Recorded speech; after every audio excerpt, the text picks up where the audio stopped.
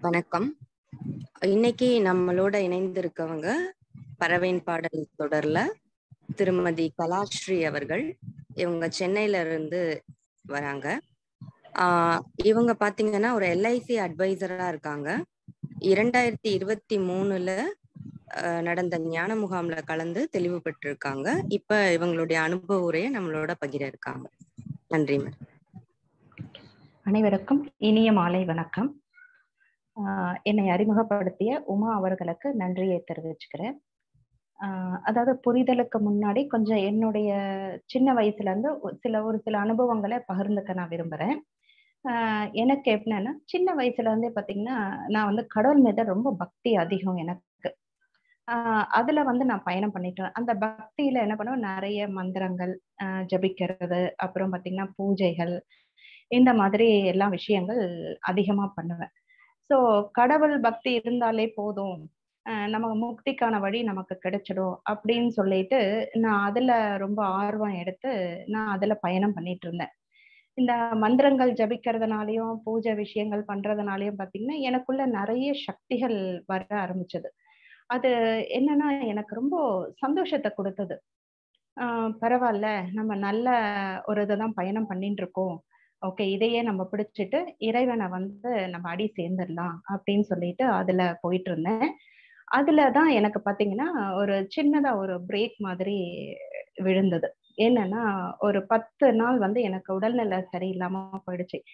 அந்த நேரத்துல பார்த்தீங்கன்னா, எனக்கு மந்திரங்கள் சொல்ல முடியல, பூஜைகள் பண்ண முடியல. எனக்கு என்ன ஆச்சுன்னா, அந்த மந்திரம் சொல்ல முடியலையே, பூஜை பண்ண முடியலையேன்றது எனக்கு ஒரு மன உளைச்சல் ஏற்பட்டுடுச்சு. நம்மளால பண்ண முடியலையே, என்னடா அது அப்படின்னு சொல்லிட்டு.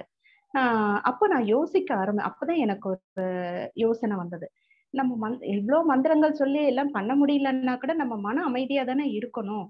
ஏன் நமக்கு இந்த மன உளைச்சல் ஏற்படுது? ஆஹ் அப்போ இதை விட வேற ஏதோ ஒரு விஷயம் இருக்கணும். நம்ம அதை ஏன் தேடி போகக்கூடாது அப்படின்னு சொல்லிட்டு எனக்குள்ள ஒரு அப்போ ஒரு நான் ரொம்ப யோசிக்க வச்சது. சரி நம்ம எங்க போறது அப்படின்னு சொல்லிட்டு என்னுடைய சர்க்கிள்ல கொஞ்சம் பேர் இந்த லைன்ல இருந்ததுனால, நான் அவங்க கிட்ட டிஸ்கஸ் பண்ணேன். என்ன நம்ம என்னப்பா பண்றது?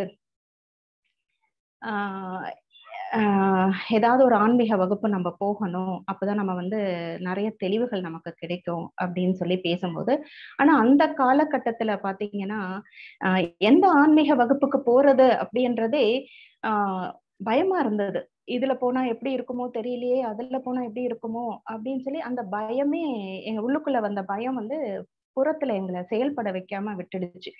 சரி ஓகே. நம்ம வந்து பிரபஞ்சத்துக்கிட்டே நம்ம விட்டுடுவோம். நமக்கு தேடல் இருக்கு. அந்த தேடலுக்கான சரியான பாதையை அந்த பிரபஞ்சமே நமக்கு கொடுக்கட்டும் அப்படின்னு சொல்லிட்டு மறுபடியும் பார்த்தீங்கன்னா, பூஜை, மந்திரங்கள் இப்படி இதுல பயணம் பண்ணிட்டே இருக்கும்போது தான் எனக்கு ஒரு ரெண்டாயிரத்தி ஒன்பதுல என்னுடைய ஃப்ரெண்டு வந்து சொன்னாங்க. இந்த மாதிரி ஒரு வகுப்பு இருக்கு, ஆன்மீக வகுப்பு இருக்கு. நீங்க அதுல போங்க. உங்களுக்கு ஒரு நல்ல அனுபவம் கிடைக்கும். நீங்க தேடுற விஷயம் கிடைக்கும் அப்படின்னாங்க ஆஹ் ஆரம்பத்துல எனக்கு கொஞ்சம் நெருடலா தான் இருந்தது. நம்ம இப்படியே நம்ம உள்ளுக்குள்ள ஏற்படுற நெருடலுக்கே நம்ம புறத்துல செயல் பண்ணாம இருந்தா எப்படி? அப்படின்னு சொல்லிட்டு, சரி ஓகே துணிஞ்சு போனேன் நான் அந்த வகுப்புக்கு. அங்க போனா பார்த்தீங்கன்னா, நல்ல தியானம் சொல்லி கொடுத்தாங்க உடல் பயிற்சிகள் இந்த மாதிரி நிறைய விஷயங்கள் கொடுத்தாங்க எனக்கு சரி நான் அதை வந்து எடுத்து பண்ணேன் நான் தியானம் பண்ணுவேன், உடற்பயிற்சி எல்லாம் பண்ணி நல்ல உடலுக்கு ஆரோக்கியமா இருந்தது. மனங்கட அப்போ ஓரளவுக்கு நல்ல செம்மையா இருந்தது.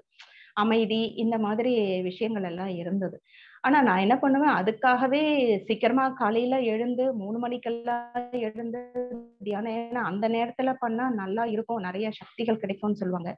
அதனால என்ன பண்ணுவேன், சீக்கிரமா எழுந்து தியானம் பண்ணுவேன். ஆனா அதுலயும் பாத்தீங்கன்னா எனக்கு நல்ல முன்னேற்றம் இருந்தது. இன்னும் நிறைய சக்திகள் கிடைச்சது எனக்கு.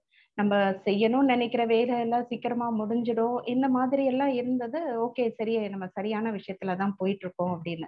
ஆனா, தியானம் எல்லாமே பண்ணும்போதும், இந்த மனதுக்கு மட்டும் ஒண்ணுமே பண்ண முடியல என்னால. பிரச்சனைன்னு வந்ததுன்னா, அந்த பிரச்சனை பின்னாடியே நான் ஓடிடுவேன். அந்த பிரச்சனை தீர வரைக்கும் அடுத்த வேலையை நான் பண்ண மாட்டேன். ஆஹ் அந்த மாதிரி இருந்தது. கோபங்கள் நிறைய வரும். அப்ப யோசிப்பேன். நம்ம தியானம்லாம் பண்றோம். அப்புறம் நமக்கே இவ்வளோ கோபம் வருது. ஆஹ் பிரச்சனைகளும் வருது. அதையும் நம்ம வந்து சமாளிக்க முடியாம இருக்கே! ஆஹ் நமக்கு ஏதோ ஒன்று வந்து புரிதல் இல்லாம இருக்கு. அது என்ன புரிதல்னு நமக்கு தெரியலையே. அப்படின்னு நான் பாத்தீங்கன்னா ஒரு நாலஞ்சு வகுப்புக்கு போயிட்டேன் ஆன்மீக வகுப்புக்கு.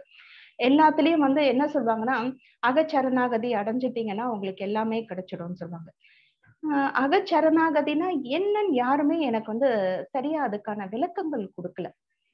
சரி நம்ம என்ன நமக்கு தெரியலையே? கேட்கறதுக்கும் நமக்கு வந்து அந்த அளவுக்கு தைரியம் கிடையாது. அவங்க சொன்னதை என்ன பண்ணுவேன் எடுத்துக்கிட்டு அந்த தியானம் உடற்பயிற்சி இதை மட்டும் கடுமையா பண்ண ஆரம்பிச்சேன் சரி நமக்கு மறுபடியும் கோபம் வருது எல்லாமே வருதே நம்ம என்ன பண்றதுன்னே தெரியலையே அப்படின்னு சொல்லிட்டு இப்படியே ஒரு வருஷ காலம் பாத்தீங்கன்னா இதுலயே ஓட்டிட்டேன். சரி தியானம் பண்ணுவோம் பார்க்கலாம்.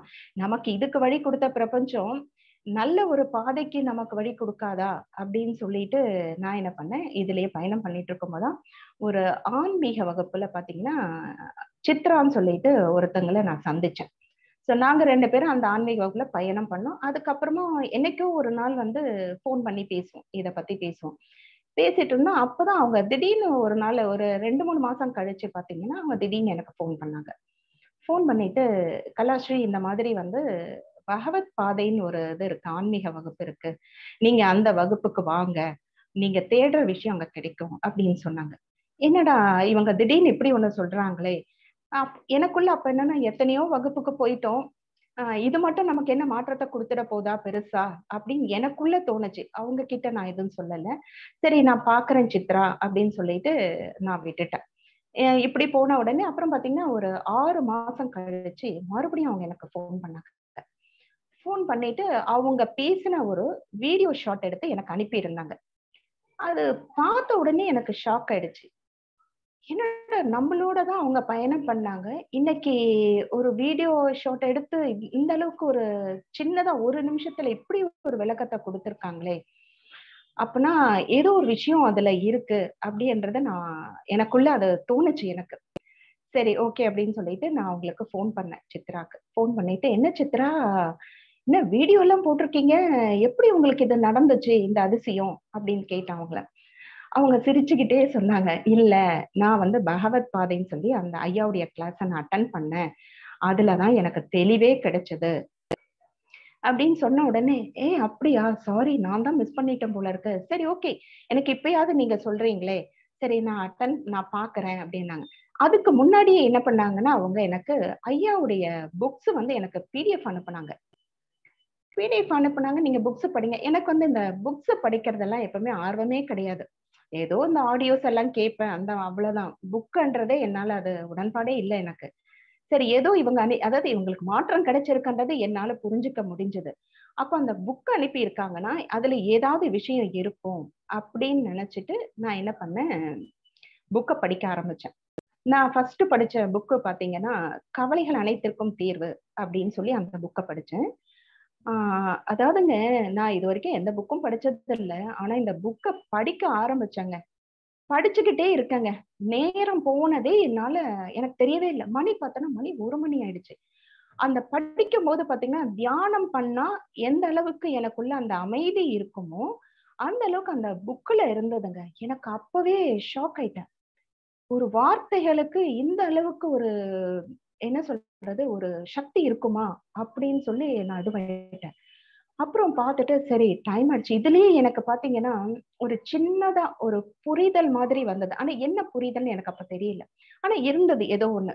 சரி ஓகே நம்ம இது என்ன? நம்ம சித்ராக்கு காலையில ஃபோன் பண்ணி பேசணும். அப்படி மறுநாள் காலையிலேயே அவங்களுக்கு அடிச்சுட்டேன் போன சித்ரா நீங்க அனுப்புன அந்த புக்கு ஐயாவுடைய புக்கு எனக்கு என்னன்னே தெரியல. ஏதோ எனக்குள்ள ஒரு சின்னதா ஒரு இது தோணுது எனக்கு. சரி எப்போ கிளாஸ்ன்னு சொல்லுங்க நான் உடனே அதை அட்டன் பண்றேன் அப்படின்னு சொல்லி நான் ஃபோன் அடிச்சு பேசினேன். அவங்க சொன்னாங்க நான் எப்போ டேட் சொல்றாங்களோ நான் உங்களுக்கு சொல்றேன். அப்படின்னு சொல்லிட்டு அவங்க சொன்னாங்க. நான் என்ன கேட்டிருந்தேன்னா சென்னையில இருந்தா எனக்கு இன்னும் வசதியா இருக்கும். ஆனா எங்க இருந்தாலும் பரவாயில்ல. ஆனா சென்னை இருந்தா ரொம்ப வசதியா இருக்கும். அப்படின்னு சொல்லியிருந்தேன் நான். ஆனா அதுதாங்க பிரபஞ்சத்துடைய நம்ம தேடல் வந்து உண்மையா இருந்ததுன்னா பிரபஞ்சம் தன்னால நமக்கு அமைச்சு கொடுக்கும் அப்படின்றத நான் ஒவ்வொரு இடத்துலயும் வந்து நான் ரொம்ப உணர்ந்திருக்கேன். அந்த மாதிரி பாத்தீங்கன்னா அப்பதான் மார்ச் ரெண்டாயிரத்தி இருபத்தி மூணுல தான் நான் வந்து சென்னையில் அம்பத்தூர்ல நடந்தது. அந்த ஞான முகாம்ல ரெண்டு நாள் வகுப்புல போனேன். ஆனா எனக்கு போகும்போதே வந்து ஏன்னா இவங்களுடைய வீடியோ எல்லாம் பார்த்ததுனால எனக்குள்ள ஒரு நல்ல ஒரு இதுவோட தான் நான் போனேன். கண்டிப்பா இங்க ஏதோ ஒண்ணு இருக்கு நமக்கு கிடைச்சிடும் அப்படின்னு அதோட கான்பிடென்ட்டா தான் ஒரு உறுதியா தான் நான் போய் கிளாஸ் அட்டன் பண்ணேன். ஆனா கிளாஸ் அட்டன் பண்ண அந்த ஃபர்ஸ்ட் நாள் முடிச்சுட்டு வந்தப்பவே பாத்தீங்கன்னா உண்மையிலே சொல்லணுங்க. எனக்கு இந்த அகம் புறம்னா என்னன்னு தெரியாது. தாட் அண்ட் திங்கிங்ன்றது சுத்தமா என்னன்னே தெரியுங்க. எத்தனையோ ஆன்மீக வகுப்பை நான் அட்டன் பண்ணியிருக்கேன். திங்கிங்ன்றது நம்ம எல்லாருக்கும் தெரியும். நம்ம யோசிக்கிறோம் அதுதான் அப்படின்றது. ஆனா தாட்ஸ்ன்றது நான் நான் என்னுடைய புரிதல் அப்ப எப்படி இருந்ததுன்னா நம்ம தான் எல்லாத்தையும் வரவழைக்கிறேன் நான் தான் நான் தான் நினைக்கிறேன் நான் தான் செய்யறேன் அப்படின்னு சொல்லி அப்படிதான் எனக்குள்ள இருந்தது. ஆனா அன்னைக்கு நைட்டு பாத்தீங்கன்னா எனக்கு எல்லாமே சுக்குநூறா உடஞ்சிருச்சுங்க எனக்குள்ள. இங்க வந்து என்னோடது ஒண்ணுமே கிடையாது. அகத்துல ஒண்ணுமே இல்லை. எல்லாமே புறத்துலதான் இது தானா வர விஷயங்கள் அப்படின்னு சொல்லி என்னுடைய என்ன சொல்றது? என்ன ஒரு சம்மட்டையால் அடிச்ச மாதிரி எனக்குள்ள இருந்ததுங்க. உண்மையை சொல்லணும்னா எனக்குள்ள இருந்த ஒரு அகங்காரம் சொல்லுவாங்கல்ல. ஏன்னா நிறைய சக்திகள்லாம் கிடைச்சதுனால கண்டிப்பா அவங்களுக்குள்ள ஒரு அகங்காரம் இருக்கும். அந்த ஒரு விஷயம் எனக்குள்ள இருந்து அது எல்லாமே ஐயாவுடைய அந்த வார்த்தைகள் வந்து என்னை அடிச்ச மாதிரி ஆயிடுச்சு. அங்கேயே நான் பூரண சரணாகதிங்க. அப்புறம் தான் மறுநாளும் கிளாஸுக்கு போனேன். எல்லாம் முடிச்சுட்டு வந்தேன். எனக்கு ஞானம் கிடைச்சிடுச்சு அப்படின்னு அவ்வளோ ஒரு சந்தோஷத்தோட வந்தேன். ஒரு பதினஞ்சு நாளுங்க. எனக்குள்ள நிறைய மாற்றங்கள் எந்த ஒரு என்ன சொல்றது ஒரு கோபம் எதிர்பார்ப்பு இதெல்லாம் வராது அப்படின்னு நினைச்சிட்டு நானும் எனக்கும் அந்த மாதிரி தான் இருந்தது ஒரு பதினஞ்சு நாள். அப்புறம் பாத்தீங்கன்னா திடீர்னு வீட்டுல வந்து என் பசங்களோட ஏதோ ஒரு சின்ன விஷயம் பண்ணும்போது திடீர்னு கோபத்துல என்ன பண்ண வார்த்தைகள் அதிகமா பேசிட்டேன். வார்த்தைகளை பேசின உடனே என்ன ஆயிடுச்சுன்னா என்ன நமக்கு தான் ஞானம் கிடைச்சிருச்சு. ஆஹ் நமக்கு எப்படி இப்படி கோபம் வந்து நம்ம வார்த்தைகளை பேசுறோம்? அப்படின்னு சொல்லிட்டு அது எனக்குள்ள ஒரு கில்ட்டியாவே ஆயிடுச்சு. நாம ஏன் இப்படி பேசணும்? ஏன் பேசணும்? அப்ப நம்ம இன்னும் நமக்கு சரி நான் தான் ஏதோ சரியா புரிஞ்சுக்கலையோ அப்படின்னு சொல்லிட்டு எனக்குள்ள மறுபடியும் வந்து என்ன ஆயிடுச்சுன்னா ஒரு மாதிரி ஃபீல் பண்ண ஆரம்பிச்சிட்டேன். அப்பதான் வந்து ஐயா சொல்லிட்டு இருந்தாங்க ஜீவமணி ஐயா இந்த மாதிரி வந்து ஏப்ரல் மாதம் சேலத்துல நடக்குதுமா? நீங்க அதை வந்து அட்டன் பண்ணுங்க. இன்னும் நல்ல புரிதல் கிடைக்கும் அப்படின்னு சொல்லியிருந்தாரு. சரி ஓகே. நம்ம அங்கேயும் போய் பார்த்துருவோமே அப்படின்னு சொல்லிட்டு தான் என்ன பண்ண அந்த மூணு நாள் ஞான முகாமுக்கு போனேன். ஆஹ் போனப்ப ஆனா சொல்லுவாங்கல்ல ஒரு சில சூழ்நிலைகளே நம்மள வந்து மாத்திடும்னு சொல்லுவாங்க. ஆனா அந்த மாதிரி தான். அங்க போன உடனே இயற்கையா பா இயற்கை சூழ்நிலைகள் பாத்தீங்கன்னா அவ்வளோ ஒரு அருமையா இருந்தது. சரி ஓகே. மூணு நாள் கிளாஸ் அட்டன் பண்ணங்க. அந்த ரெண்டு நாள் அட்டன் பண்ணதாங்க. அந்த சண்டே அன்னைக்கு காலையில அந்த ஞாயிற்றுக்கிழமை நைட்டு பாத்தீங்கன்னா அப்படி ஒரு மனசுல ஒரு சந்தோஷம். அது என்ன சொல்றது? சொல்றதுக்கே எனக்கு இப்ப வார்த்தைகள் கூட இல்லை. அப்படி இருந்து அவர் புக்கை எடுத்து படி படின்னு சொல்லி உள்ளுணர்வுல என்ன என்னை வந்து உந்துப்படுத்துது நீங்க படிங்க அந்த புக்கை படிங்க அந்த பாத்தீங்கன்னா ஒரு ரெண்டு மணி வரைக்கும் புக்ஸையே படிச்சுட்டு இருந்தேன். அப்புறம் திருப்பியும் காலையில சீக்கிரமா நான் ஒரு டயர்ட்னஸும் இல்லை. அந்த புக்கு படிச்ச அந்த நேரம் கழிச்சு படுத்ததும் பாத்தீங்கன்னா அந்த டயர்ட்னஸ் எதுவுமே இல்லை. நல்ல ஃப்ரெஷ்ஷா இருந்தேன். எனக்கே ஆச்சரியம். ஏன்னா நம்ம எல்லாம் பாத்தீங்கன்னா ரொம்ப ஒரு ரெண்டு மணிக்கு மூணு மணிக்கு படுத்தோம்னா காலையில சீக்கிரமா இருந்தா நமக்கு அந்த டயர்ட்னஸ் இருக்கும். ஆனா அது ஒண்ணு கூட இல்லைங்க. எனக்கு அப்பதான் நினைச்சேன் ஐயாவுடைய வார்த்தைகள் தான் நமக்கு இந்த அளவுக்கு நமக்கு வந்து ஒரு ஃப்ரெஷ்னஸ் கொடுத்துருக்கு. நமக்கு டயர்டே இல்லாம இருக்கு அப்படின்னு நினைச்சிட்டு அப்புறம் மறுநாள் அட்டன் பண்ணி எனக்கு இருந்த சந்தேகங்கள் எல்லாமே அந்த மூணு நாள் ஞான முகாம்ல முடிஞ்சதுங்க. நமக்குள்ள வந்து என்ன வேணா வரும். நம்ம வந்து அப்படி வராம இருக்காது. அது தானா வர விஷயங்கள் கோபம். ஆஹ் அதை வர்றதை நம்ம வேணுமா வேண்டாமான்றத நாம தான் வந்து புறத்துல செயல்படுத்தணும் அப்படின்னு சொல்லிட்டு நான் புரிஞ்சுக்கிட்டேன். அதுக்கப்புறம் நான் வந்ததுக்கு அப்புறம் பாத்தீங்கன்னா ஆஹ் வீட்லயே பாத்தீங்கன்னா என்ன மாத்தின விஷயம் வீட்டையே மாத்திடுச்சு. ஏன்னா என் என்ன எங்க வீட்டு பசங்களுக்கு எல்லாம் பாத்தீங்கன்னா அம்மா கோவப்படுவாங்களே ஏதாவது நீட்னஸ் இல்லைன்னா கோவப்படுவேன் இப்ப என்ன பண்ணுவேன் நீட்னஸ் இல்லையா? சரி ஓகே அப்படின்னு சொல்லி நானே எடுத்து வச்சிருவேன். நான் சத்தம் போட மாட்டேன். அப்போ எல்லாருக்குமே வீட்டுல வந்து ஆச்சரியம். என்ன உன்னை இப்படி மாத்திடுச்சே? அப்படின்னு சொன்னேன். அப்பதான் நான் இப்ப போயிட்டு வந்தேன்லங்க அந்த கிளாஸ் தான் வந்து என்னை மாத்தி இருக்கு அப்படின்னு சொன்னேன். அப்போ எல்லாருக்கும் சந்தோஷம் வீட்டுல ஏன்னா நான் கோவப்படலைன்றது எல்லாருக்கும் சந்தோஷமா இருந்தது. அதுக்கப்புறம் பாத்தீங்கன்னா ஐயாவுடைய புரிதலுக்கு அப்புறம் பாத்தீங்கன்னா எனக்குள்ள வந்து அந்த கோபம் வரும். ஆனா அது க்ஷணத்துல மறைஞ்சு போயிடுதுங்க கோபம். உடனே நார்மல் இதுக்கு வந்துடுறேன் நான்? அப்புறம் நிதானமா பேச ஆரம்பிக்கிறேன் அது ஒண்ணு. இன்னொன்னு பாத்தீங்கன்னா ஃபர்ஸ்ட் எல்லாம் அதாவது ஐயாவுடைய புரிதலுக்கு முன்னாடி இன்னைக்கு சில ஒர்க்குகள் பண்ணுவேன் அப்படின்னு சொல்லி லிஸ்ட் போட்டு வைப்பேன். எனக்குள்ள பாத்தீங்கன்னா ஒரு பய உணர்வு வரும். அந்த பய உணர்வு வந்தாலே நான் என்ன பண்ணுவேன்? அன்னைக்கு அந்த ஒர்க் எல்லாத்தையும் ஸ்டாப் பண்ணிடுவேன். இது ஏதோ நமக்கு நெகட்டிவா வருது. ஆஹ் இன்னைக்கு வந்து நம்ம இந்த வேலை செஞ்சோம்னா எதுவும் சரியா வராது அப்படின்னு சொல்லி அன்னைக்கு அந்த ஃபுல்லாவே வீட்டுல உட்காந்துருவேன். ஏன்னா ஒரு ரெண்டு முறை அந்த மாதிரி நெகட்டிவா வந்து நான் போய் வேலை செய்யும் போது அது எல்லாமே சில விஷயங்கள் நேர்மாறா நடந்துருச்சு. அந்த பயம் என்ன ஆயிடுச்சுன்னா அடுத்தடுத்து இந்த மாதிரி முக்கியமான விஷயங்கள் பண்ணும் போதெல்லாம் இப்படி வரும்போதெல்லாம் நான் நிறுத்திடுவேன். பண்ண மாட்டேன். ஆனா அதே விஷயம்தான் ஐயாவுடைய புரிதலுக்கு அப்புறமும் வந்தது எனக்கு.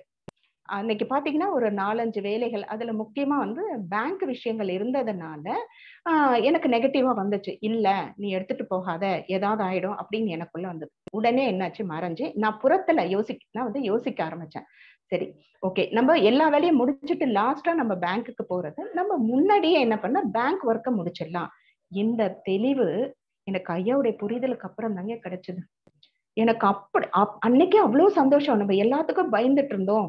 நெகட்டிவா வந்த உடனே அந்த வேலை செய்யாம இருந்தோம். ஆனா இன்னைக்கு பர்ஃபெக்டா எல்லா வேலையும் முடிச்சுட்டு நம்ம வரோம் அதே இதுவோட. அதே நெகட்டிவ் தான் வருது.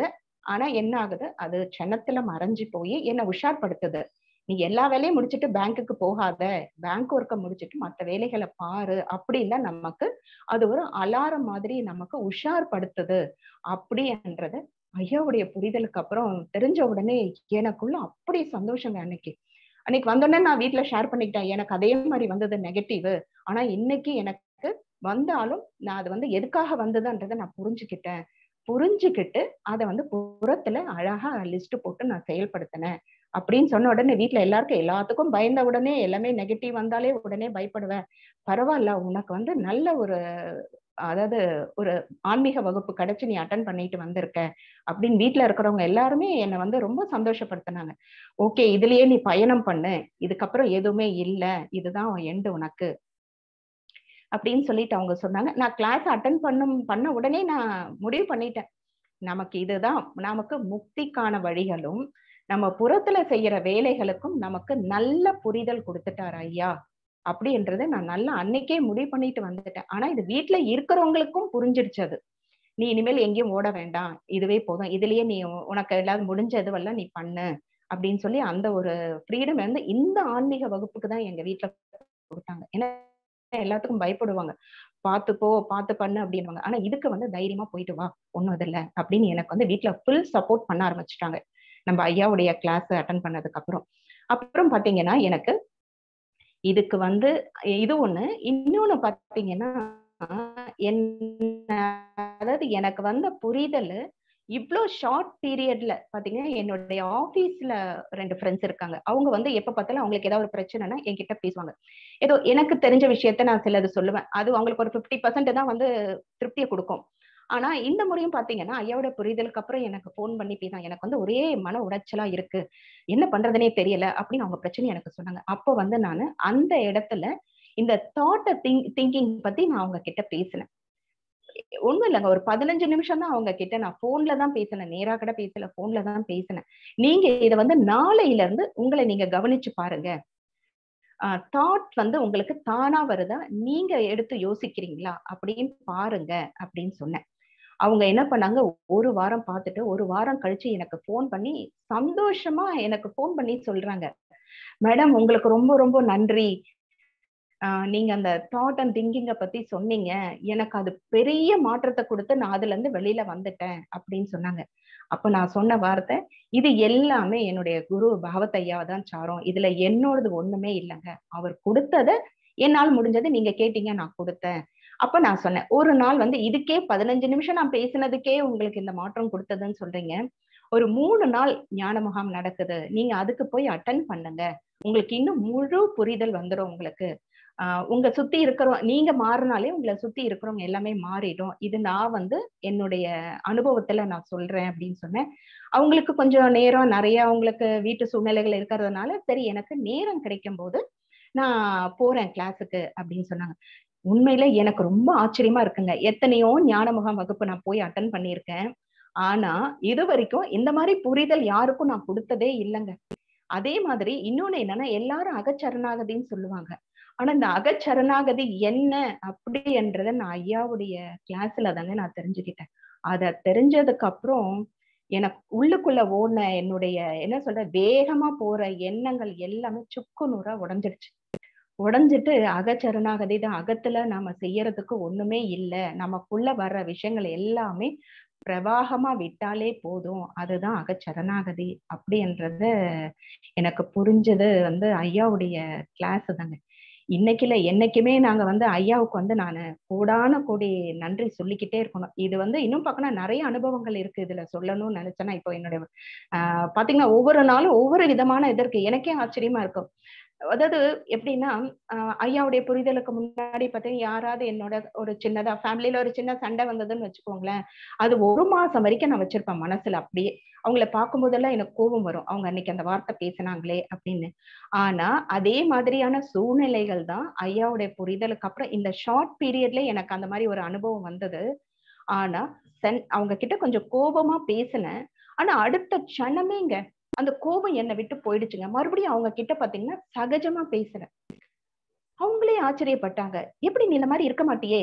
ஆஹ் ஒரு வாரம் ஒரு பத்து நாள் கூட இந்த மாதிரி வச்சிருப்பே. நான் ஃபோன் பண்ணா கூட நீ எடுக்கவே மாட்டேன் கோபமா பேசி வச்சிடுவியே அது எப்படி ஒரு நிமிஷத்துல என்கிட்ட சகஜமா வந்து பேசுற? அப்படின்னாங்க.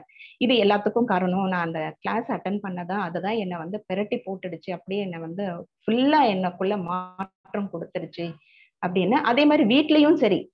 பசங்க கிட்ட கூட நான் வந்து ரொம்ப சில நேரத்துல நல்ல விஷயங்கள் தான் ஆனா என்ன பண்ணுவேன்? கோபமா பேசிடுவேன் கொஞ்சம். ஏன்னா அப்பதான் அவங்களுக்கு புரிதல் கிடைக்குது. அவங்களுக்கு அப்பதான் புரிஞ்சுக்கிறாங்க பசங்க. நம்ம மெல்லமா பேசணும்னா அதை வந்து காதல வாங்கிக்க மாட்டேன் பேசிடுவேன். ஆனா அதை என்ன பண்ண கில்ட்டியா ஃபீல் பண்ணுவேன்.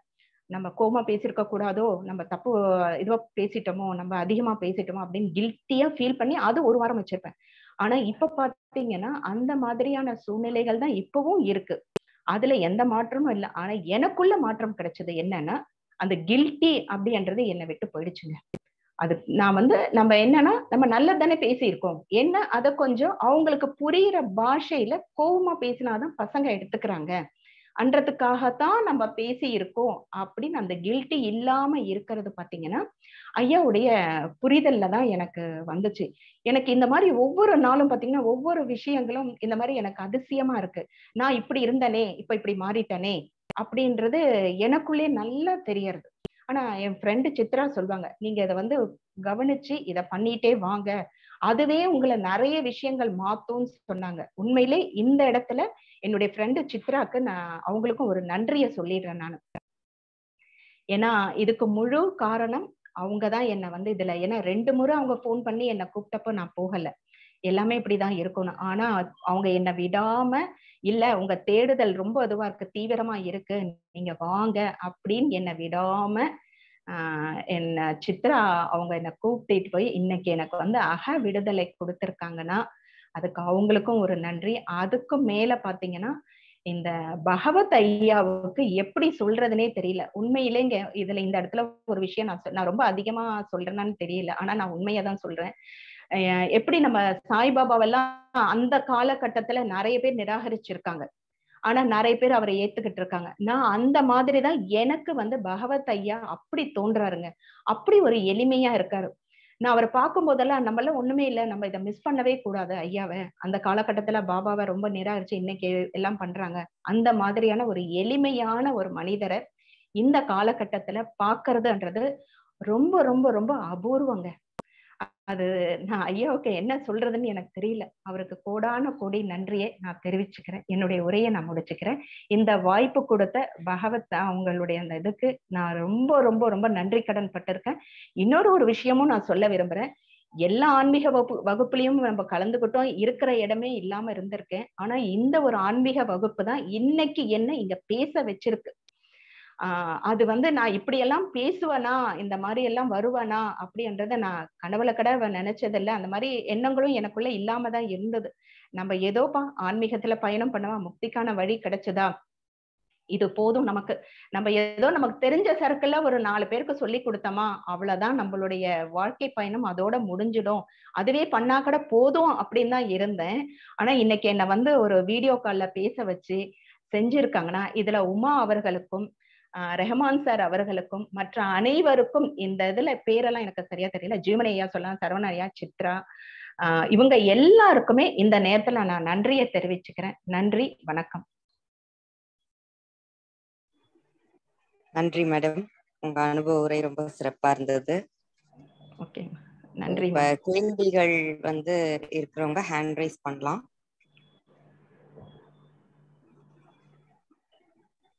அப்படி நீங்க கேள்வி கேட்கும் போதாவது கொஞ்சம் வீடியோ ஆன் பண்ணிட்டீங்கன்னா உங்களையும் ஸ்பாட்லைட் பண்ணுவோம்.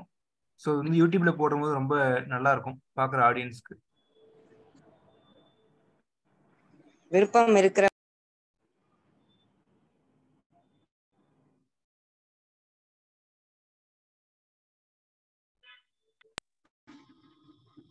குமார குமரேசன் சார் எஸ் வணக்கம் சார் கேக்குதுங்களா?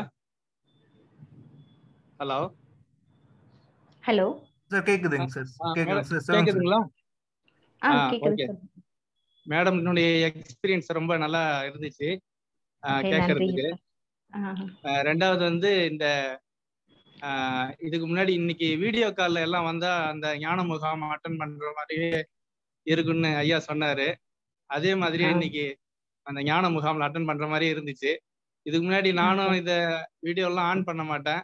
சும்மா வாக்கிங் போயிட்டு அப்படியே கேட்டுட்டு தான் இருப்பேன்.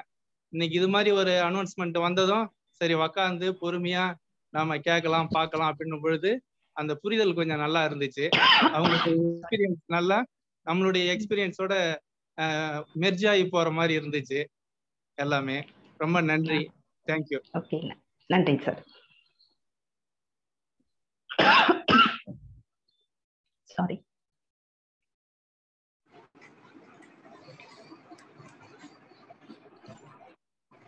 நன்றி. வேற யாருக்கும் கேள்விகள் இருக்கா? வீடியோ ஆன் பண்ணதுனால செஷன் லைவ்லியா போது பாருங்க. எஸ்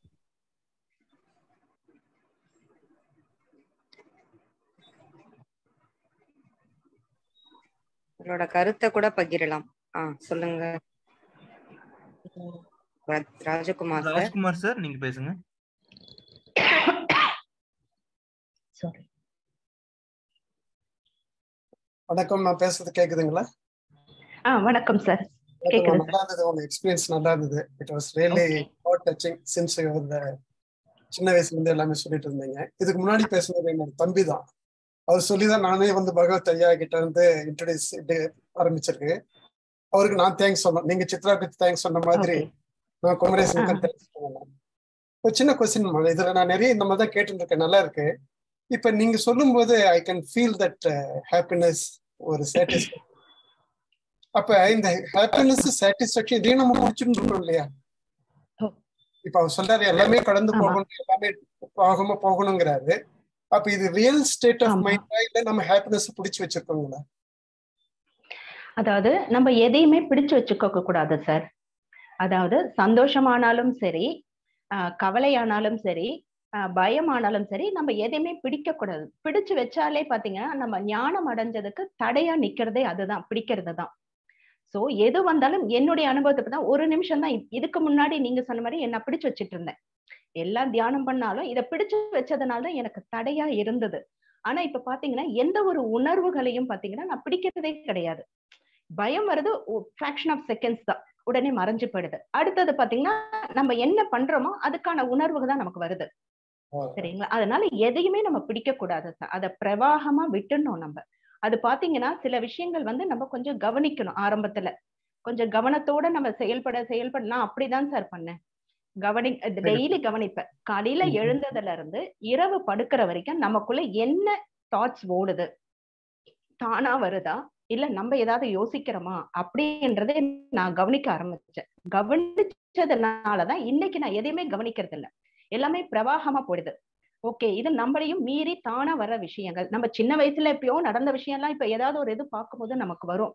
அப்ப நம்ம அதை நினைக்கலையே அது தானா தானே வருது அப்படின்றத நான் புரிஞ்சுக்கிட்டேன் சார். ஓ அதாவது ஒவ்வொரு விஷயங்களையும் கவனிக்கும் போதுதான் நமக்கு தெரியுது சார். அந்த மாதிரி நீங்களும் என்ன பண்ணும் டெய்லி நடக்கிற விஷயங்களை கவனிச்சு பாருங்க. காலையில எழுந்ததுல இருந்து நைட் வரைக்கும் நமக்குள்ள என்னென்ன ஓடுது அதை நம்ம எதை எடுத்து செயல்படுத்துறோம் புறத்துல எப்படி பண்றோம் அப்படின்னு பாருங்க. நமக்கு ஒரு நாளைக்கு எத்- ஒரு பத்தாயிரமே வச்சுக்கோங்க. எண்ணங்கள் வந்தாலும் நம்ம செய்யற செயல் பாத்தீங்கன்னா ஒரு நாலஞ்சு தான் எடுத்து நம்ம செயல் பண்ணுவோம். புறத்துல பண்ணுவோம். அப்போ மத்ததெல்லாம் என்ன ஆகுது? அது தானா போயிடுது. அப்படிதான் சார். எதையுமே நம்ம பிடிக்க கூடாது சார். பிடிச்சு வச்சாலே நம்ம வந்து தடையா இருக்கிறது நாம தான் அப்படின்றது என்னுடைய இது சார்.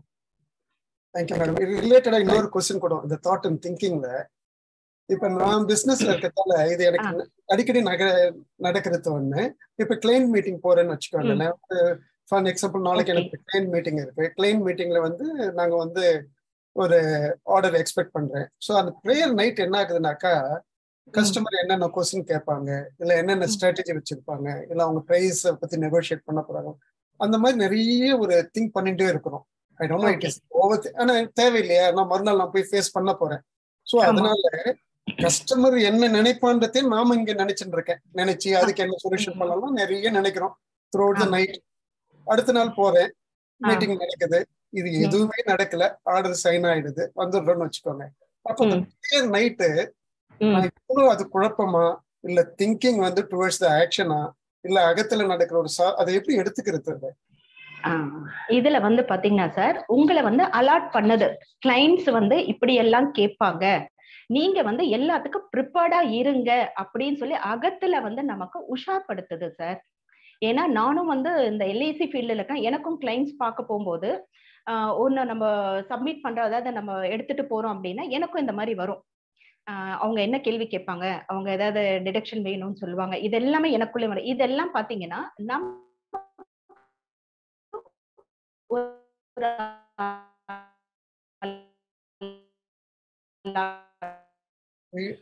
ஆடியோ இஷ்யூ நீங்க உஷாரா இருங்க. பயம் வருது பயம் பாத்தீங்கன்னா நம்ம அதை நல்லபடியா முடிக்கணும்ன்றதுக்கு தான். ஆ ஓகே அப்ப அது குழப்பமா இருந்தாலும் பயமா இருந்தாலும் அது வந்து நமக்கு சப்போர்ட்டா தான் வருதுன்றீங்க ஆமா அதுதான் சார் அததான் நம்ம புரிஞ்சுக்கணும். ஏன்னா நான் ஐயாவுடைய புரிதலுக்கு முன்னாடி பாத்தீங்கன்னா ஒரு நெகட்டிவ் வந்தாலே நான் அந்த வேலை பண்ண மாட்டேன். ஒரு கிளைண்ட் பார்க்க போறோம் நெகட்டிவா வருதுன்னா நான் அந்த கிளைண்ட் அதுவே அந்த மீட்டிங்கே கேன்சல் பண்ணிடுவேன் நான். சோ அந்த மாதிரி இருந்த ஆனா அது வந்து எனக்கு புரிதல் இல்லாததுனால. ஆனா இப்ப பாத்தீங்கன்னா ஓகே இது நமக்கு அவர்கிட்ட இந்த கேள்வி எல்லாம் இருக்கும் ஒரு உஷார்படுத்துது. அதுதான் அது நீங்க குழப்பம் அந்த மாதிரி எதுவும் எடுக்காதீங்க. அதுதான் மேடம் இப்ப என்ன ஆகுதுனாக்கா. ஒரு பீரியட் அதை நானே திரும்ப அனலைஸ் பண்ணும்போது இல்ல நான் ஓவர் திங்க் பண்றனோ இல்ல நான் கன்ஃபியூஸ் ஆயிடணும்னு வருது இல்லைங்களா? அப்ப வேர் டு ஸ்டாப் எங்க நாம அதை நிறுத்துறது? புரியல இப்ப நான் அது அதாவது அந்த மீட்டிங்காக நம்ம நிறைய பிளானிங் பண்றோம் இல்லைங்களா? முத நாள் நைட் நிறைய பிளானிங் பண்றேன் ஒன் லீட்ஸ் டு அனதர் இது ஒரு ம். கேஸ் எஃபர்ட் மாதிரி நம்ம நிறைய யோசிக்கிறோம் இல்லையா? இது பண்ணுவோம் அதை ஆமா சொல்றோம். ம் ம். அப்ப அது நான் எங்க நிறுத்துறது? அது வந்து ஓவர் திங்கிங் மாதிரி ஆயிடுது இல்லைங்களா? இல்ல நீங்க அது ஓவர் திங்கிங் எடுத்த எடுத்துக்காதீங்க. இப்ப நீங்க நாளைக்கு ஒரு கிளைண்ட் மீட்டிங் போறீங்கன்னா அவருக்கான விஷயங்கள் என்னவோ அதை மட்டும் நீங்க யோசிச்சு நீங்க அது நீங்க ஐயாவுடைய கிளாஸ் அட்டன் பண்ணிருக்கீங்களா? சார் இதுக்கு வந்து பாத்தீங்கன்னா இப்ப என்னதான்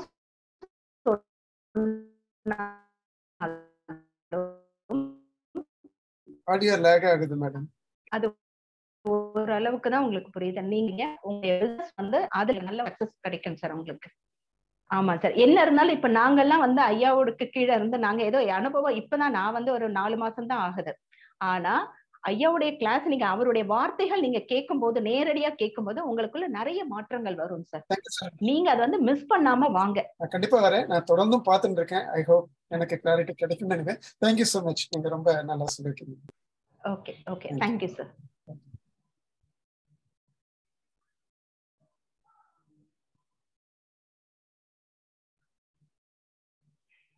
Chitra ma'am நீங்க பேசுங்க. Hello hi Chitra. Hello Kalasri. நீங்க நல்லா பேசியிருக்கீங்க. ரொம்ப தேங்க்ஸ். சொல்லிட்டே இருந்தீங்க. அப்படியெல்லாம் இல்ல. எனக்கு வந்து ஒரு நல்ல புரிதல் கிடைச்சது. அந்த புரிதல் வந்து எனக்கு அது கிடைச்ச உடனே நான் யார்கிட்டயாவது சொல்ல மாட்டேனான்னு பாக்குறவங்க மேல இருக்கிறவங்க கீழ் வீட்டுல இருக்கிறவங்க பக்கத்துல வீட்டுல எல்லாருக்கும் சொல்லிட்டே இருந்தேன். அந்த மாதிரிதான் கிடைக்கணும் அப்படிங்கிற விதத்துல நான் சொன்னேன். நீங்க வந்து உங்களோட முயற்சி ஆர்வமும் தான் உங்களுக்கு அந்த புரிதலை கொடுத்துருக்குது. எனவே தேங்க்யூ ஓகேம்மா thank you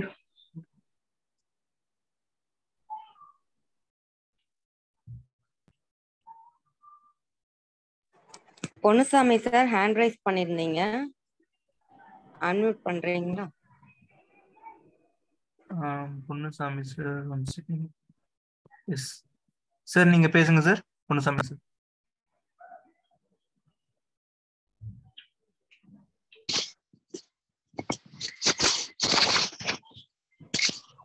Hello hello கேக்குதுங்களா?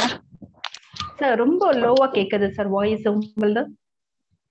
ஹலோ ஹலோ ஆ கேக்குதா? ஆ இப்ப கேக்குறது சார் சரி மேடம் நீங்க நல்ல ஒரு புரிதல் நீங்க பேசுனதுல.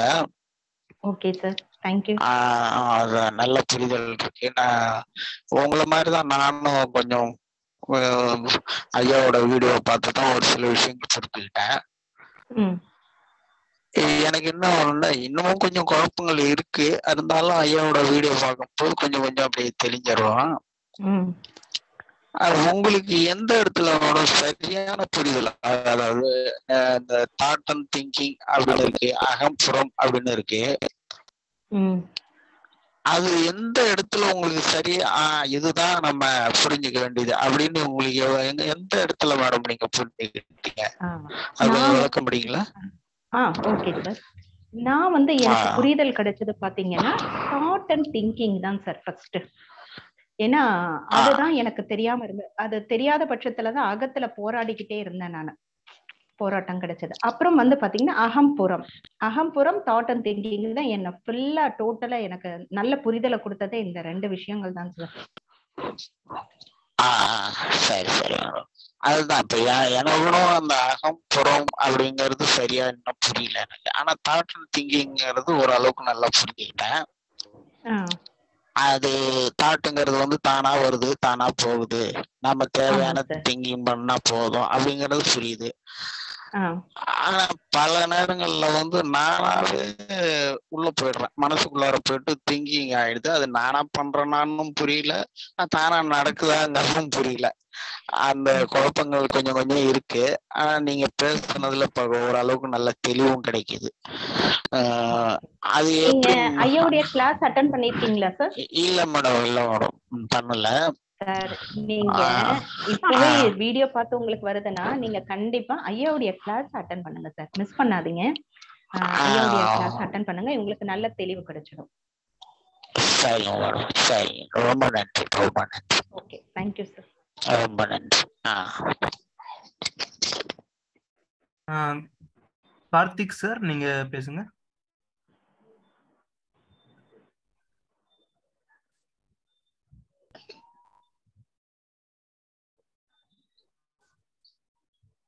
கார்த்திக் சார் அன்மியூட் பண்ண முடியுதா உங்களால?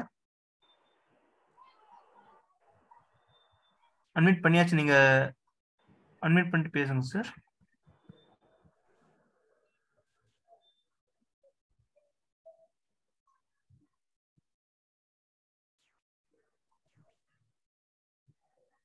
சரி இப்ப கிளிக் பண்ணி பாருங்க இப்ப கிளிக் பண்ணுங்க.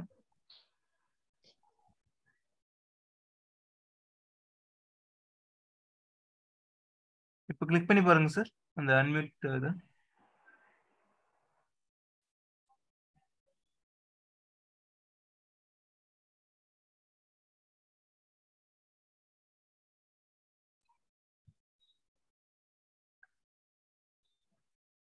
சார், பண்ண முடியுதா? அன்மியூட் கொடுத்தாச்சு.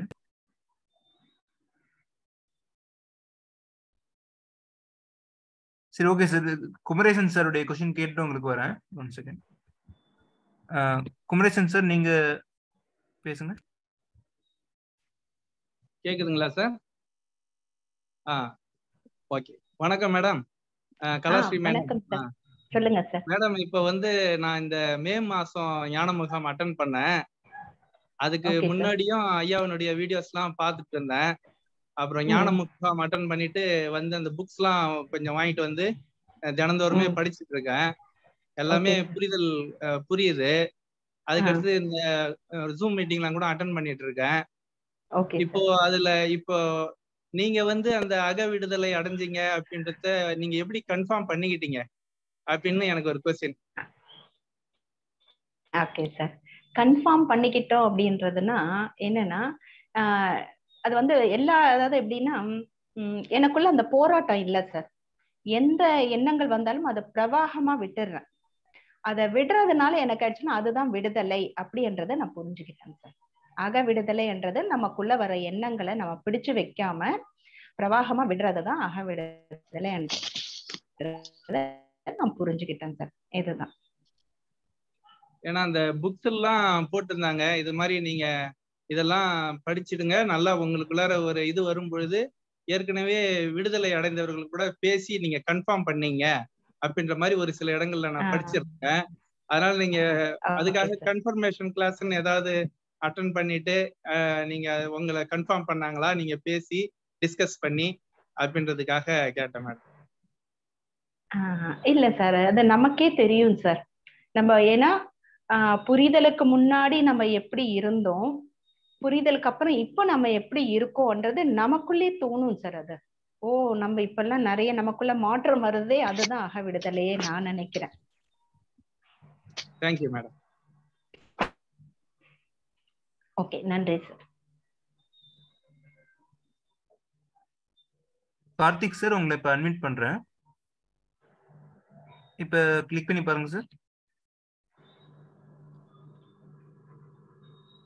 அந்த அன்மியூட் இதை டெஸ்ட் பண்ணி பாருங்க.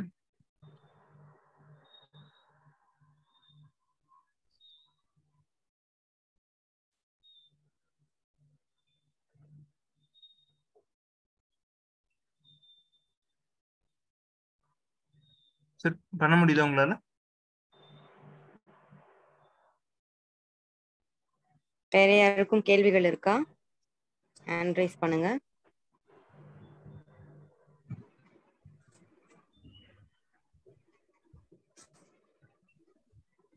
மொபைல்ல இருந்து தான் சார் எல்லாருமே கனெக்ட் பண்ணிருக்காங்க. எல்லாரும் அன்மியூட் பண்ண முடியுது. ஓகே லதா மேம் நீங்க பேசுங்க. சார் வணக்கம் சார் நான் இந்த வீக் தான் வரலான்னு இருக்கேன் நானு. ஹலோ உங்க பேர் சொல்லிட்டு சொல்லுங்க சார் என்னுடைய நேம் வந்து சிட்டி பாபுங்க நான் வேலூர்ல இருந்து பேசுறேன். ஓகே உங்க கேள்விகள் கேளுங்க மேடம் என்னுடைய டாட்டருக்கு நைன்டீன் இயர்ஸ் ஓல்டு ஓகே அவளுக்கு வந்து ஓசிடி இருக்கு அப்படின்னு சொல்லி டயக்னைஸ் பண்ணிருக்காங்க. ஓகே ஸோ இந்த வீக் வரலான்னு இருக்கேன் நான். இந்த தேர்ஸ்டே ஃப்ரைடே சாட்டர்டே இந்த இந்த வீக் நடக்குது நடக்கிறேன் ஓகே ஓகே சார் பட் இது ஓசிடிக்கும் பண்ணுவாங்களா? இல்ல எல்லா டைப் ஆஃப் இதுக்கும் அந்த ஞானம் புரிதல் இருக்குங்களாங்க? இல்ல அதாவது ஓசிடிக்கு இருக்கு. அது. புரிதல் கொடுத்துறாங்க. எல்லா விதமான இதுக்கும் புரிதல்னு நீங்க எப்படி கேக்குறீங்க சார்? எனக்கு புரியல. எப்படின்னா அது வந்து அண்டர்ஸ்டாண்டிங் பண்ணிக்கிறதுக்கு இப்போ அங்க வந்து மீட்டிங்ல ஒன்லி ஃபார் ஓசிடியா இல்ல எல்லா டைப் ஆஃப் மன கஷ்டங்களுக்கும் இல்ல இல்ல. அதாவது சார் அதாவது பாத்தீங்கன்னா ஓசிடிக்கு உண்டு. சரிங்களா? ஆனா.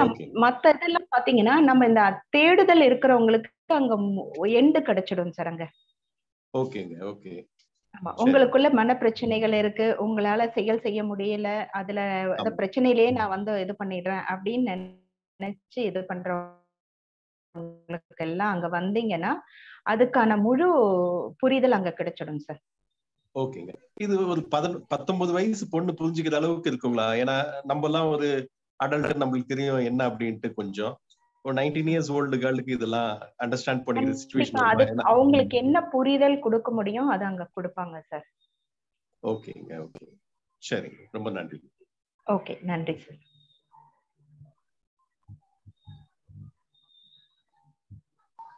குமார் சார் நீங்க பேசுங்க.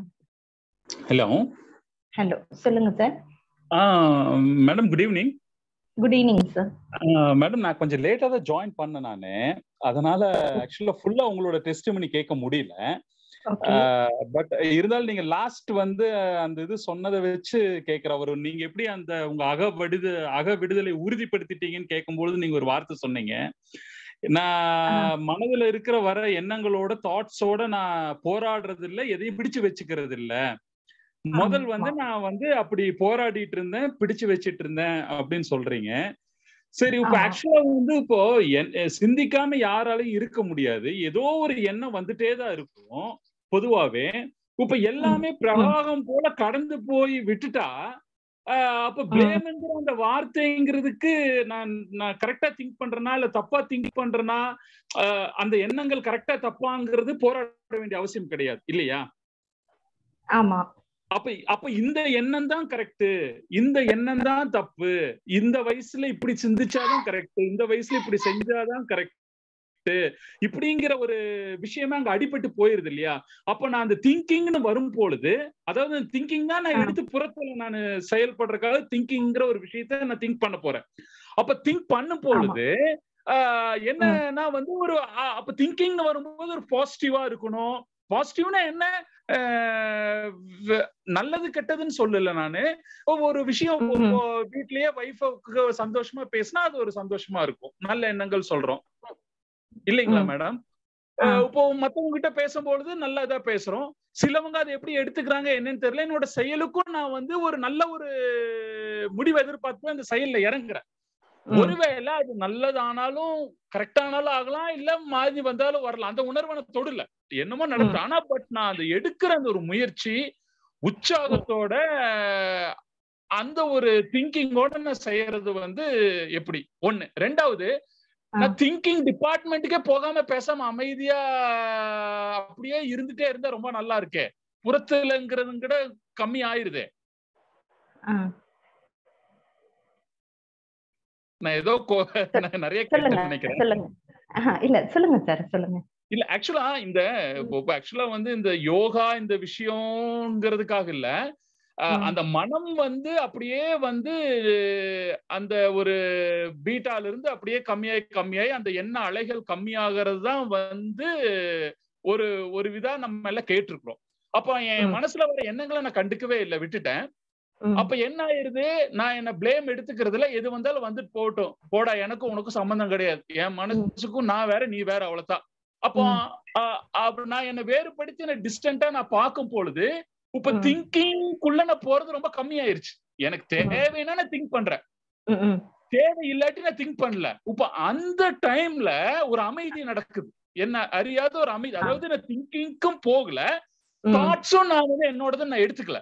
இந்த ரெண்டு இடத்துக்கு நடுவுல நான் வந்து ஒரு மௌனத்தை நான் கடைக்கு பிடிக்கும் பொழுது அது ரொம்ப நல்லா இருக்கு. அது அது வந்து ஆக்சுவலா திங்கிங்னால ஏற்பட்ட உணர்வு கிடையாது அது. அது மௌனத்தினால ஏற்பட்ட ஒரு அமைதி. அது உணர்வுன்னு சொல்லல அது. அப்ப அந்த அமைதி வந்து அப்படியே நம்ம ப்ரொலாங் பண்ணிட்டே இருக்க இருக்க இருக்க இருக்க ஆஹ், அது சந்தோஷம்னு கூட சொல்ல முடியாது. அது ஒரு இறை அம்சம் மாதிரி இருக்குது. அப்படித்தானவா அதானவா அதான் அக விடுதலையா? ஒரு சின்ன ரிக்வெஸ்ட் இந்த கேள்வி கொஞ்சம் ஷார்ட்டா கேளுங்க சார். ஐயோ ஷார்ட்டா கரெக்ட் தான் நீங்க சொல்றது. ஏ ஃபார் ஆப்பிள்னு சொல்லும் பொழுது ஆப்பிள ஷார்ட்டா சொல்லணும்னா எப்படி சொல்றது? எனக்கு தெரியல. அது இது அதாவது தாட் வந்து தானா வருது. திங்கிங் வந்து நான் எடுக்கிறது. ஆனா தாட்டுக்கும் திங்கிங்க்கும் நடுவுல நான் திங்கிங்கு புறத்துல எடுக்கல. தாட்டை நான் கண்டுக்கல. ஒரு அந்த இடத்துல நான் மீ நடுவுல நிக்கிறேன். நிக்கும் பொழுது என்ன ஆகுதுன்னா வந்து ஒரு ஒரு அமைதி கிடைக்குது. அந்த அமைதி தான் விடுதலையா? அந்த அமைதியை பிரவாகம் மாதிரி விட முடியாதே? ஆமா விட முடியாது. ஓகே சரி உங்களுக்கு நீங்க இது வரைக்கும் பேசுனீங்க ஓகே இந்த அமைதி வந்து உங்களுக்கு எப்பவுமே கிடைக்குமா? நல்லா இருக்கே அது அப்படியே லயப்படுதே அந்த அமைதி வந்து. சரிங்க சார் இந்த அமைதி உங்களுக்கு எப்பவுமே கிடைக்குமா? நான் நான் என்னோட எண்ணங்களை நான் வந்து கண்டுக்காத போது இந்த திங்கிங்குள்ள நான் வந்து ஜாஸ்தி இறங்காத போது இந்த அமைதி எப்பொழுது இருந்துட்டே இருக்கு. ஆ. அதுதான் சார் நான் என்ன கேக்குறேன்னா ஓகே இந்த அமைதி வந்து உங்களுக்கு எப்பவுமே கிடைச்சிடுமான்னு கேக்குறேன். டெய்லி இதே மாதிரி நீங்க அமைதியா இருக்க முடியுமா? எதையும் திங்க். பண்ணாம ஒரு இது. எப்படி சார் முடியும்? ஏன்னா நம்ம ஒரு ஃபேமிலில இருக்கோம் அப்படின்னும் போது நம்ம திங்க் பண்ணாம எப்படி சார் நம்ம வேலைகளை பண்ணணும்ல நம்ம? சொல்லுங்க. கரெக்ட் கரெக்ட் கரெக்ட் மேடம் அந்த வேலைகள் நான் பண்ணும் பொழுது அமைதியோட தான் அந்த வேலையை நான் பண்றேன் நான். அந்த திங்கிங்கே நான் அமைதியோட தான் நான் எடுக்கிறேன் அந்த திங்கிங்க அப்போ இன்னும் அமைதி ஜாஸ்தி தான் ஆகும். நீங்க சாருடைய இது ஐயாவுடைய கிளாஸ் அட்டன் பண்ணிருக்கீங்களா ஆக்சுவலா வந்து புக்ஸ் படிச்சிருக்கிறேன் நானு. கிளாஸஸ் வந்து அட்டன் பண்ணது ஆன்லைன்ல அட்டன் பண்ணியிருக்கிறேன். இப்போ சென்னையில முகாம் நடந்துச்சு இல்லையா? அந்த முகாம்ல அந்த பிசிக்கல பிரசன்ஸ் என்னோட பிரசன்ஸ் இல்ல. பட் ஆனா வந்து அங்க என்ன நடந்திருக்கோ அதெல்லாம் கேட்டிருக்கேன் இப்ப என்னன்னா நான் அமைதி ஆயிடுறேன் இப்ப திங்கிங் நான் புறத்துல வேலை செய்யறக்கா நீங்க கேக்குறீங்க ஃபேமிலியோட இருக்கிறேன் நான் வேலை செய்யணும் அது பண்ணணும் இது பண்ணணும். அந்த அமைதியோட தான் நான் திங்க் பண்ணும் பொழுது அமைதி ஜாஸ்தி தான் ஆகுது எனக்கு. அந்த அமைதியை நான் பிரவாகம் போல விட முடியாது. அது அமைதிய பிரபா இல்- ஆமா அதுதான் சார். அதாவது என்னுடைய அக விடுதலை அப்படின்றது என்னன்னா எந்த எண்ணங்கள் இது வந்து நம்ம சொல்றது வந்து எப்பவுமே டெய்லி ரொட்டேஷன் அதாவது டெய்லி நடக்கிற விஷயங்களை நம்ம சொல்றோம். எனக்குள்ள எண்ணங்கள் வரும்பா. நல்லது வரும் கெட்டது வரும் துக்கம் வரும் சந்தோஷம் வரும். எது வந்தாலும் அத பத்தி நான் எதையுமே எடுத்துக்க மாட்டேன். எனக்கு தேவைன்னா அந்த சந்தோஷமான விஷயமா சந்தோஷத்தை எடுத்து கொஞ்ச நேரம் சந்தோஷமா இருந்தேன்னா அதை அப்படியே விட்டுடுவேன். அதுதான் சார் அக விடுதலை என்றது அதான். எப்பவுமே அது நமக்கு கிடைக்காது சார். நீங்க சொல்ற விஷயங்கள் எப்பவுமே அமைதியாவே என்னால பண்ண முடியும்னா கண்டிப்பா அதுல கொஞ்சம் வாய்ப்பு இல்லை சார் நீங்க வந்து அதோட ஐயாவுடைய கிளாஸ் வந்து அட்டன் பண்ணுங்க. இது எல்லாத்துக்குமே உங்களுக்கு தெளிவு கிடைச்சிடும்.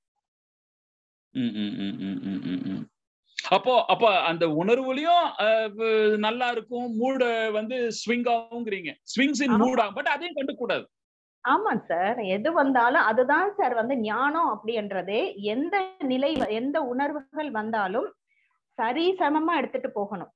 துக்கம் வந்து அதுல வந்து துவண்டு போயிடக்கூடாது சந்தோஷம் அதுல தெளிச்சு இருக்கக்கூடாது. எது வந்தாலும் சரிசமமா எடுத்துட்டு போறதுதான் பாத்தீங்கன்னா அக விடுதலை ஞானம் அப்படின்றது ஐயாவுடைய புரிதல் எனக்கு. இல்ல இல்ல மேடம் ரொம்ப நல்லா இருக்கு. நீங்க எனக்கு அந்த அந்த வார்த்தை சொன்னது எனக்கு அப்படியே டப்புன்னு அப்படியே பிடிச்சிருச்சு. என்ன நான் போராட வேண்டாம் பிடிச்சு வச்சுக்க வேண்டாம். அப்படியே பதிஞ்சிருச்சு அது. அது இல்ல அது நிஜமா வந்து ரொம்ப அற்புதமான ஒரு இதுதான். ஏன்னா அது நீங்க அது உணர்ந்து சொல்றீங்க. ஆமாங்க சார். இல்ல. அத நீங்க அனுபவிச்சு ரசிச்சு ருசிச்சு பழைய. உங்களோட முகத்தை பாக்குறீங்க. இப்ப இருக்கிற உங்களோட முகத்தை பாக்குறீங்க. பெரிய ஒரு டிஃபரன்ஸ் இருக்குது. அப்ப அது. சொல்லும் பொழுது அது வந்து ரொம்ப சிறப்பு. நல்லா இருந்துச்சு மேடம்.